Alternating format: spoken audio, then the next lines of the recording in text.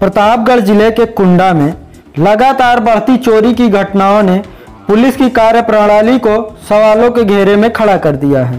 कुंडा के लोग पुलिस पर सवालिया निशान उठाने लगे हैं।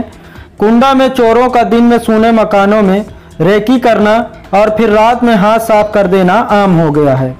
मंगलवार की रात भी चोरों ने तीन दुकानों का ताला तोड़ डाला, लेकिन एक ही दुकान में चोरी की घटना को अंजाम दे सके।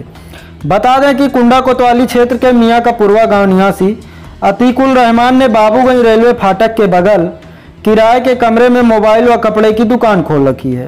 बीते मंगलवार की शाम वह अपनी दुकान बंद करके घर चला गया। देर रात पहुँचे चोरों ने उसकी दुकान के शटर का ताला तोड़कर बीस हज़ार रुपया नगद व लाखों रुपए के मोबाइल सेट उठा ले गए। इसके बाद चोरों ने मझिल गाँव निवासी आनंद मिश्रा द्वारा इंडियन बैंक की खोली गई टाइनी शाखा के कमरे का ताला तोड़ दिया, लेकिन टाइनी के अंदर नहीं घुस पाए। इसके बाद चोरों ने मझिल गाँव निवासी मनोज कुमार मौर्य की दुकान का ताला तोड़कर घुसने का प्रयास किया, लेकिन वहाँ भी असफल रहे। सुबह जब दुकानदार अपनी अपनी दुकान खोलने पहुँचे तो दुकानों का ताला टूटा देख दंग रह गए।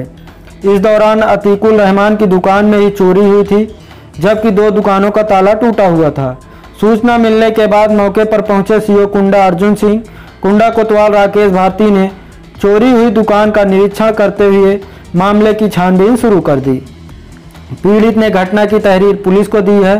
फ़िलहाल कुंडा में जिस तरह से चोरी की घटनाएँ बढ़ी हैं, उससे पुलिस पर सवालिया निशान खड़ा हो गया है। बीते तीन माह में दर्जनों से अधिक चोरी की घटनाएँ हो चुकी हैं, लेकिन पुलिस एक भी चोरी का खुलासा नहीं कर सकी है, जिससे क्षेत्र के लोगों में आक्रोश व्याप्त है।